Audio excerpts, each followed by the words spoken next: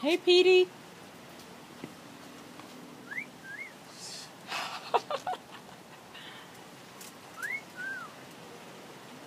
okay, so Facebook, just in case you guys didn't really think that the birds actually whistle, the bird is whistling. Like, you know, like there's Pretty Lady or something.